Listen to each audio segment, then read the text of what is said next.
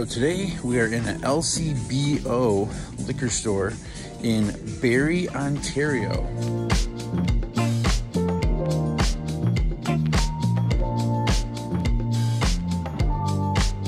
All right, let's see what they got. A lot of these prices are a lot higher, obviously, because this is in Canadian. But you know, back home, this is like a $30, $40 bottle, uh, 52 60 Some of the stuff, it seems like it's very inflated. I feel bad uh, for some of the prices that people have to pay for this stuff.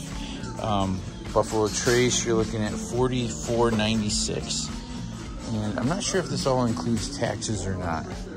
But uh, we're gonna dig around and see if we can find anything interesting. They have this whiskey shop locked case over here, just to kind of give you an idea of the prices. Look at this, 89.95 for small batch, single barrel straight rye, same price. They obviously have a huge selection of local Canadian whiskeys. I'm not really sure what I should be looking for. If there's anything that you guys see that I should have looked at or picked up, let me know. I do come to Canada quite often, so I I'll be able to pick it up on the next trip. This this kind of caught my eye. This is kind of a cool label. Calgary Stampede. See what we got here. Oh, it's a rye. I'm not really too much into ryes. I'm I'm trying.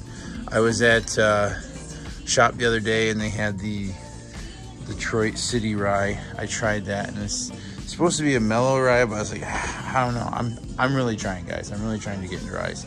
Plenty of Crown Royal. And like even check this out, the 1792 small batch, which you can find everywhere back home. 52.95.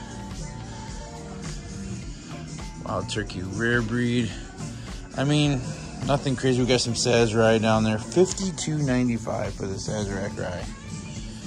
Got some rums. I mean, it's a really cool store. They have like a lot of stuff that I've never seen before. It's just that some of the stuff it's like, when would I come across it again? So like I said before, if there's anything that you guys see that I should have looked at and picked up, let me know. I'm gonna keep digging around. I'll let you know if I find anything. So let me know if you guys like coolers. I had a couple here that I was looking at trying, but this one caught my eye, the Jameson Whiskey Lemonade. I don't know. I've never seen this back home. Let me know if it's any good. I'm gonna probably grab at least one. This Flying Monkey craft beer. Look at, look at this can. The freaking like cat shooting laser beam rainbows. Like, what is going on here? Brewed in Canada.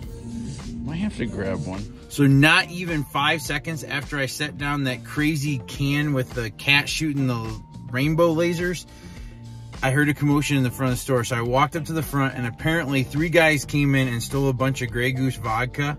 And the ladies were running around trying to get their phones out, get pictures of it. I saw the car leave. I didn't get a chance to see the guys in there, but apparently three guys came in, and stole a bunch of vodka. At checkout, I was talking to the lady and trying to get some information about what happened. And she's like, yeah, stuff like this happens a lot. So kind of sucks uh, that it happens, uh, but it is what it is. So I did end up grabbing uh, two things. I This just looked uh, interesting to me. Crazy Uncle Craft Soda for grown-ups. Strawberry cream soda.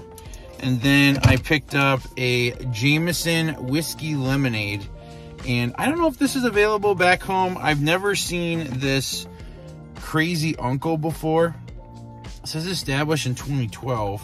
So I don't know. I the the whiskey and bourbon prices it just seemed like they were really high uh, for what they were. Obviously, you guys saw that. But I think this was like six bucks uh, Canadian for both of these, so it wasn't too bad. Give me at least something to try from the trip. I did get some information from that lady though. She said special releases like Blanton's, Weller, Eagle Rare, all that kind of stuff, the allocated stuff that we have back home, gets released like one to two times a year here. And LCBO stores are the only ones in Canada that can sell spirits. Now they are starting to get some more stuff into the grocery stores and trying to get stuff into gas stations, but it seems like it's a slow moving process. So yeah, this is this is what you have. So if you're if you're coming to Canada hoping to have like a bunch of liquor stores to go to, it's not going to happen. It's all the LCBOs and going to be similar prices to what I saw. It's all ran by the country. So it's not even based off of the provinces. It's all ran by the, the federal government. So yeah, that's that's about it for today. I'm not sure if I'm going to do much more looking around today, but that's uh, what it's like to go into an LCBO here in Canada. You guys have a good one.